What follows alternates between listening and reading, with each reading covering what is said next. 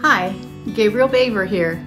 I wanted to share with you the wonderful experience I had the other day in a little community near Augusta, Missouri, a tiny little community called Femme Osage.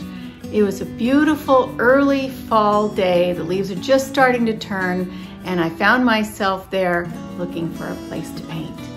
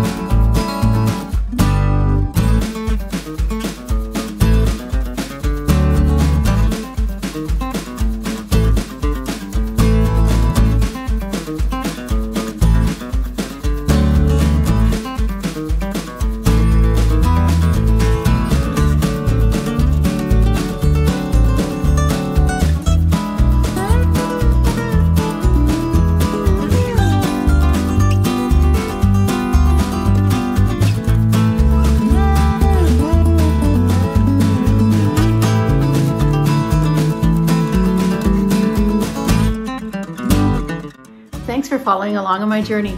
Be sure to like, comment, and share. See you next time.